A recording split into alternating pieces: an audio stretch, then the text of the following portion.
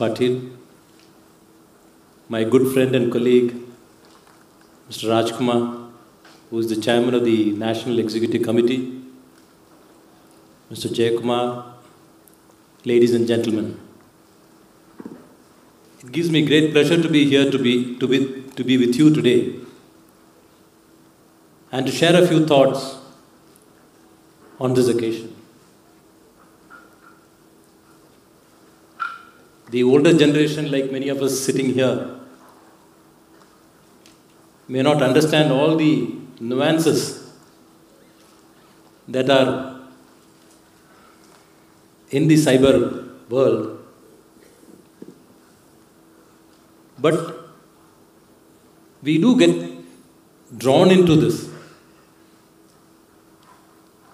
not only as administrators, but as individuals who use the internet for various purposes.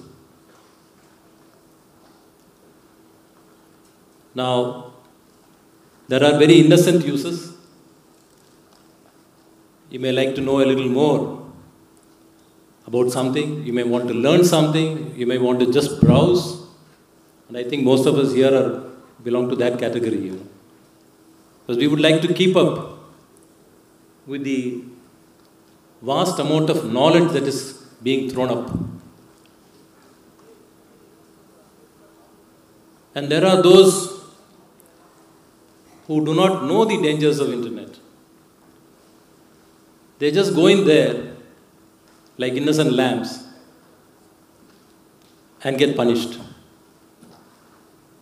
But then it's the age old game of thieves and robbers, which all children are, you know, fascinated by.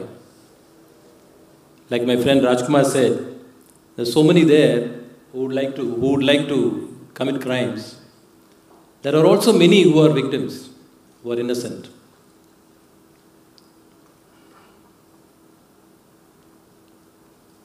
I'm sure that many of you who are interested in the field have already read up quite a bit.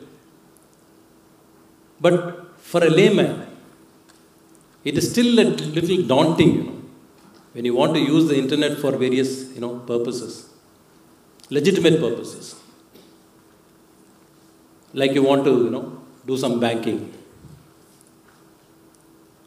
Let me tell you, a lot of old people also use banking and services like that. A lot of retail sales, purchases are made now, online purchases. You put the you put your credit card into the open, and you do trust that the system has some amount of safe, safeguards so that you know you're not duped. And that's exactly what the cyber safety standards are being set up for. I had the good pleasure of addressing a very similar gathering in Chennai last year. I think it was last year. Last year.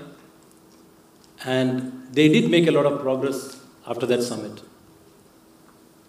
Because the experiences from you know various people, that's what helped them make up the standards to ensure that there is some semblance of uh, what do you say? Safety. In a world which is so uncertain where you don't know whom you are dealing with from which part of the country which part of the world he is from and it is that which is very difficult for people to you know legislate upon. And here is an organization, the National Cyber Society, which wants to help the government, the law enforcers, to adopt standards and legal provisions that can nab these people who are out there trying to manipulate us.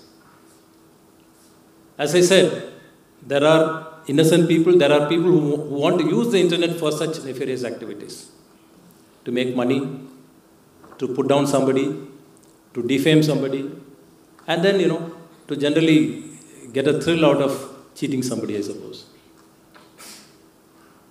So one has to be extremely cautious when one is dealing with such people.